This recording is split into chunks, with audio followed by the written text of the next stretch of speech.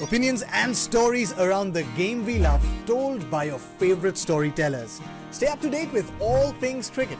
Subscribe to Cricbuzz's YouTube channel and press that bell icon now. 15th August 1947 and for the first time the flag of India was raised over Rashtrapati Bhavan and Nehru spoke about a tryst with destiny. These are absolutely memorable moments in Indian history but some of the stories surrounding them are absolutely fantastic. Do you know why the date 15th August was chosen? Because Lord Mountbatten was a part of the British Navy during the Second World War and he wanted to commemorate the surrender of Japan, which had happened exactly two years before on August 15th. And that's why those specific dates were chosen August 14th for Pakistan and August 15th for India. There are a couple of more stories about it. How do you actually partition such a huge land into two parts?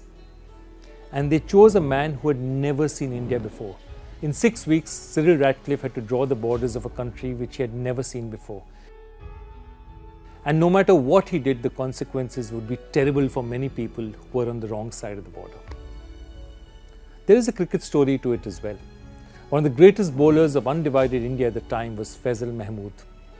And he was getting ready to play for the Indian team when independence was declared and partition came. And he had to go back to his family in Pakistan.